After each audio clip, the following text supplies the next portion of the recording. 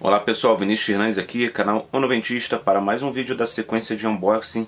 Eram 36 caixas, no começo eu falei que eram 35, depois eu achei mais uma que é essa pequenininha aqui, que eu não tinha achado. Eu não vi essa caixinha, depois eu achei ela perdida aí, como é que pode, né? E já foram várias partes, agora talvez seja a parte 4 ou parte 5, não sei, já perdi as contas. Agora eu não vou mais contar não. Vou escolher umas caixas aqui para eu abrir. Eu vou abrir logo tudo que tem de pequeno.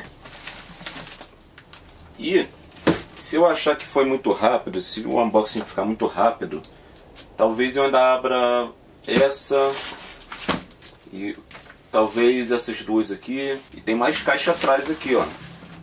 Que aí vai ser com certeza outro vídeo, que é muita coisa. Estou fazendo várias partes aí, vamos começar a abrir. Então a parada é a seguinte, galera. Tem um misto aqui de coisas que são pra mim e coisas que são pra revender. Esse item aqui, ele é diferente porque ele é um importado de Portugal, pessoal. Portugal. E eu tava numa expectativa grande aí pra abrir. Isso já tá mais de uma semana aqui.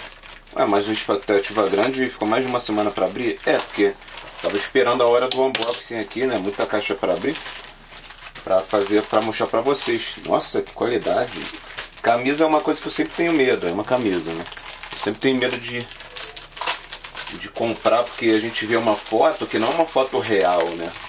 É uma arte ali da internet. Aí a gente não sabe se a estampa é de qualidade, a gente não sabe nada, mas eu já vi que a estampa é do jeito que eu gosto. Ela é Silk Screen, Puppet Master, mestre dos brinquedos. Essa aí eu já vou daqui a pouco estrear aqui no canal, vou fazer um vídeo sobre a coleção Puppet Master. Tô doido para usar logo, tomara que o tamanho dê. Então vamos lá, vamos continuar. E vamos lá.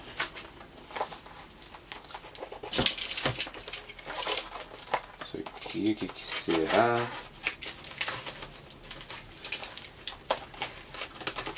Uma compra feita no Mercado Livre. Geralmente, a maioria das vezes que eu compro no Mercado Livre é para mim. Porque quando é para revenda, a maioria é, trago, é, como eu tenho mostrado para vocês nas partes anteriores. Se você não assistiu, assista. Eu compro dos Estados Unidos, da China.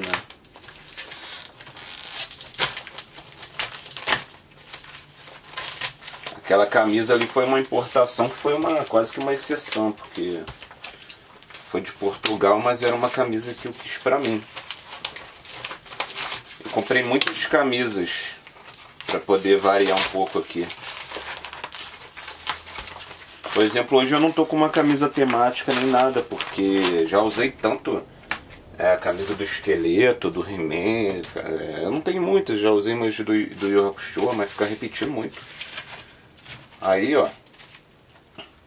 Isso aqui é pra mim. Demorou a chegar e eu demorei a abrir também. Trilha sonora do Tarzan. Versão. Oh, interessante, cara. Vou botar uns negocinhos aqui. É versão nacional, né? Cantada em português pelo Ed Mota. Fiz um vídeo aqui que eu mostro a minha coleção né, de trilhas sonoras da Disney. E essa trilha sonora aqui eu só tinha mostrado a versão com Phil Collins, né, a versão americana, que eu tinha até o momento. E realmente eu prefiro aquela versão. Mas depois eu fiquei pensando, pô, eu gosto das versões também com Ed Mota. E acabou que eu comprei. E esse CD foi muito raro para, foi difícil de encontrar. Vamos continuar. Eu vou deixar a camisa aqui também, senão depois eu vou esquecer que eu gosto de sempre ir juntando tudo que vai que eu vou pegando, só que como ela é muito grande eu botei pra ali, mas eu vou deixar ela dobradinha assim, ó, só para representar aqui. Aí, ó. Puppet Master. Camisa linda. Essa eu vou usar muito só que não tanto quanto eu usei algumas aí que eu, eu, tinha poucas, né? Porque como eu falei, eu encomendei várias camisas. Então vai ter camisa do Mortal Kombat, Street Fighter. E talvez eu pegue algumas camisas, são camisas novas. Talvez algumas eu faça experiência de vender, vamos ver. Eu, eu acabei me empolgando um pouco, tipo Street Fighter, eu comprei muitas de Street Fighter, não precisa de tantas do mesmo jogo. Aqui ó. Esse aqui foi uma compra do Mercado Livre, só que é pra vender. Porque eu vi como uma oportunidade. Olha só. É o esqueleto quase completo da estrela. Só que está arrebentado aqui atrás. Aí isso aqui eu sei fazer o reparo, vou fazer o reparo disso. E as pernas estão moles, mas aí eu vou trocar. E tem uma colada aqui também. Mas eu vou soltar.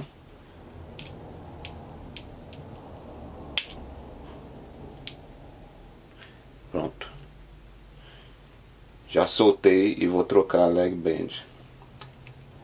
Então é isso, aí vou fazer uma, uma pinturinha aqui no queixo dele e tal, botar uma, ver se eu tenho uma espada original por aqui. E é isso. Se não tiver, eu boto uma réplica mesmo. Vou melhorá-lo o máximo possível. Porque eu achei ele barato. Aí eu pensei que vale a pena para dar uma trabalhada nele, né? Vou botar na lojinha do Noventista aí, que o link tá na descrição. E quem comprar direto comigo tem desconto. Ah, essa aqui é uma caixa enviada por Diogo Moreno, de São Paulo. E é uma troca. Então aqui essa, esse unboxing está bem misto, né? Temos aqui compras que eu fiz para revender, compras que eu fiz para mim, trocas. Aqui ele mandou duas caixas dentro de um mesmo pacote. Interessante.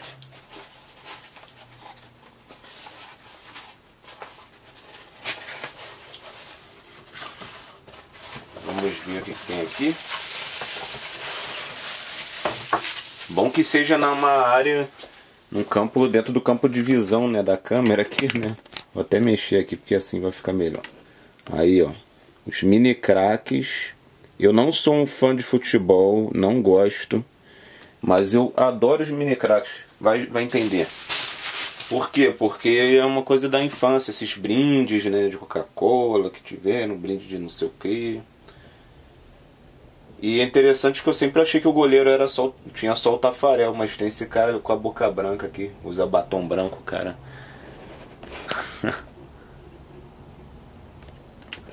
então, pô, achei muito legaisinhos aí e esse trio ali, é, esse conjunto ali com três, eu acho muito maneiro.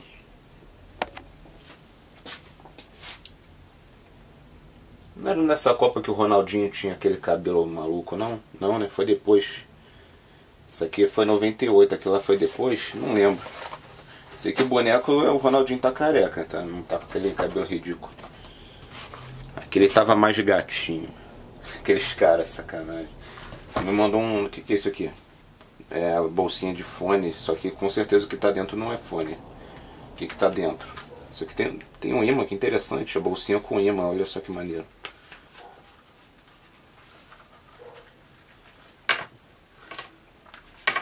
Uau! Nossa! Aí. Arminha do Cobra Khan, que também serve para o Zodak, né? Dos dois. Pô, tem um bocado de gente me perguntando esses dias aí. Tu tem a arminha do Cobra Khan, do Zodak? Aí agora chegaram duas. Dá pra atender essa galera agora. O problema é que agora eu não lembro mais quem perguntou. Aí tem as três arminhas aqui dos Thundercats, daquelas versões miniatura dos anos 80 três arminhas aí, ó, do Lion, do Pantro, do Escamoso. Gostei dessa bolsinha, hein? Vamos ver o que veio aqui nessa outra caixa.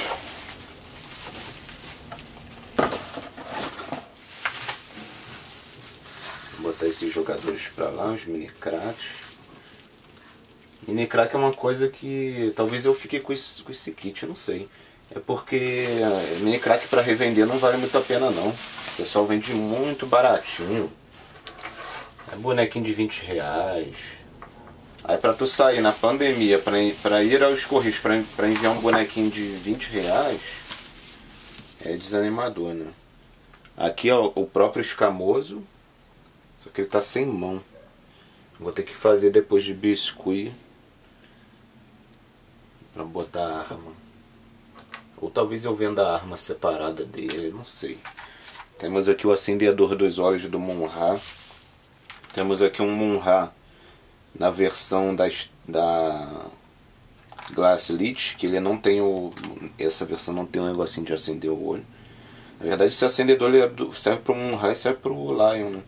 Esse aqui é o acendedor da Glasslit. Tem bonecos da Glasslit que alguns vinham é, com a opção de acender o olho. Estou vendo que é da Glasslit porque, apesar de nunca ter segurado um da Glasslit antes, eu tô, eu vendo que o plástico é, é diferente do da, do, da LJN que eu tô acostumado, do, da LJN. É o, o Monra da Glaslit ele é todo parafusado atrás. Tá? Como é que tá o ataque dele aqui? Tá funcionando mais ou menos. Ah. Os bonecos da Glaslit são meio assim mesmo, o movimento não é tão. é meio mole. Da LJN é muito superior. E esse aqui, ele tem o, o elmo grudado na cabeça da LJN, o elmo solta. E a cor da, do rosto dele é diferente. É, é muita diferença do da LJN. Porque o plástico aqui, o plástico da cabeça é vermelho e a cara dele é pintada e a cor está diferente do corpo. Eu nunca tinha segurado um, um desse aí, não. Aqui temos também um colete do Zodak da Estrela. Percebo que é da Estrela pelo material. E tem, tem um rasinho miniatura. E um pantro da Glasslit. Mesma coisa, o ataque ele é meio mole, meio. às vezes dá uma falhada, assim. Não é o que, que o cara me mandou com problema, não. É porque Glaslit é assim. Vamos lá. Compra do Mercado Livre, feita por mim.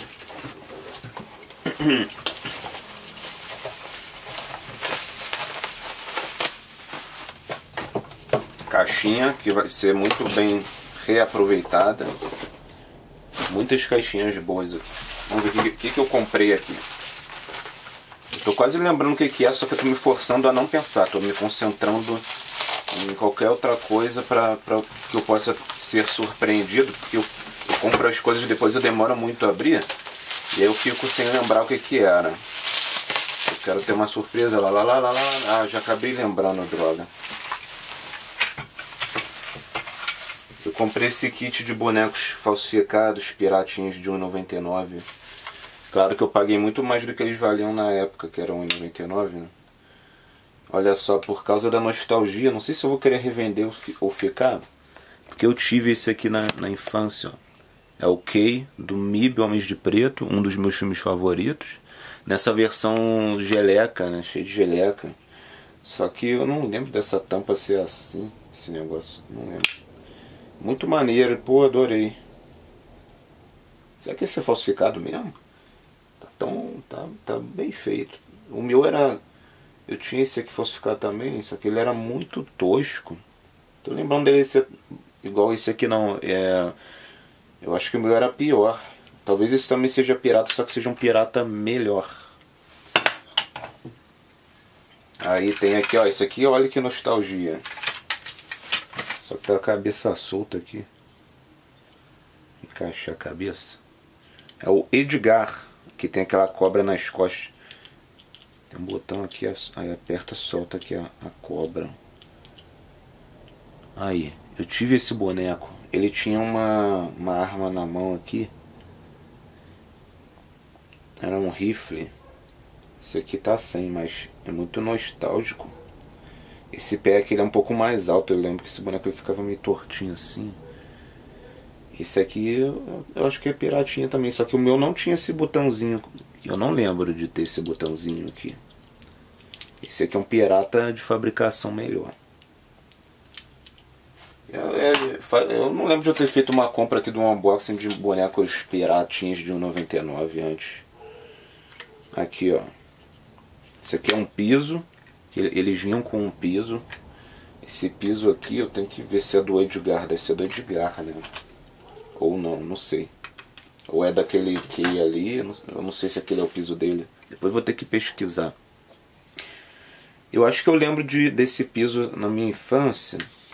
Só que o meu, ele não, eu acho que ele não vinha com a parte de baixo não. Tá vendo que ele é uma cobrinha, é uma barata, né? Grossinha, gordinha. Era, vinha só a parte de cima, era mais mal feito. Esse aqui tem um acabamento por baixo. Aqui temos mais um piso. E veio esse ETzinho aqui que toma café. Esse ETzinho eu me identifico muito com ele porque a estrutura corporal dele, com essa pancinha aqui, todo corcunda, todo errado, assim, me lembra muito eu mesmo. Você riu, né? Você não vai, me, não vai rir no dia que me ver sem camisa. Você vai chorar. Então vamos continuar. Isso aqui parece uma troca. Ah, não. Mais ou menos. É, dessa vez não foi troca, mas é um rapaz que eu já fiz troca com ele antes. É o Cleison de Santa, Santa Maria cidade, né? Lá em Monte, Montes Claros de Minas Gerais. É, e o que, que é exatamente? É uma compra que eu fiz com ele. Eu estava precisando de umas peças. Ele tem o contato dele lá que faz umas impressões. E claro que eu não, nunca pedi para ele, ah, me passa o contato direto do cara, claro que não. Peço com ele que ele vai lá, pede pro cara fazer, e é isso aí.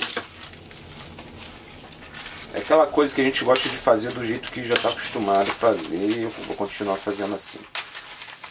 E olha só quanta pecinha tem aí. Eu vou ter até que dar um zoom para vocês poderem ver. Aí, ó. São várias pecinhas.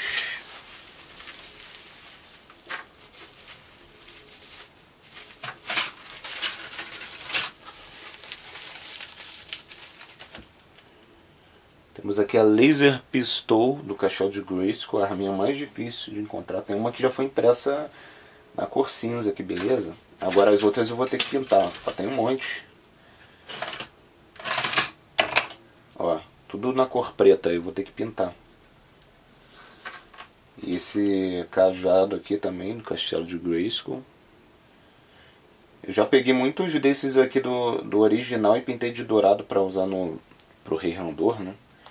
Só que eu dei mole, eu tive que ter pedido pro Clayson antes. Muitas, muitos desses aqui, né, já que já é réplica, eu posso pintar de dourado tranquilo. Agora pegar um original para pintar é brabo, né? Aí aqui é uma travinha debaixo do castelo para fazer funcionar o mecanismo da, da armadilha. Aqui é a tampa da armadilha.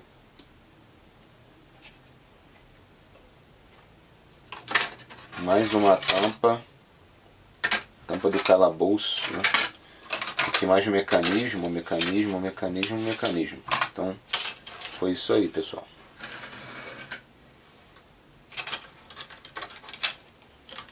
Valeu, Cleison.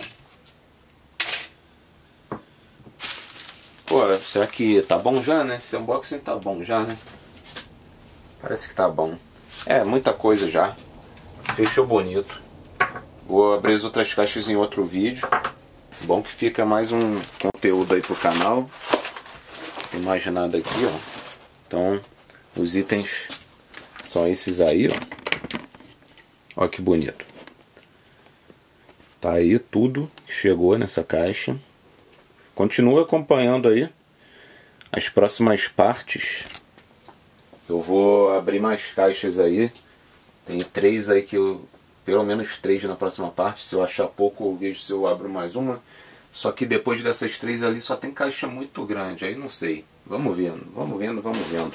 Eu vou abrir três ou quatro caixas aí na próxima parte. Então fica acompanhando aí. Se você não está inscrito, se inscreve, ativa o sininho para ser notificado. Mas eu tô lançando vídeo todo dia. Entrar aí na, na lista dos vídeos do canal que você vai ver na ordem todas as partes desse unboxing, as anteriores também que você talvez não viu todas. E é isso, a lojinha do Noventista aí ó, na descrição, qualquer item direto comigo, fora do Mercado Livre 10% de desconto.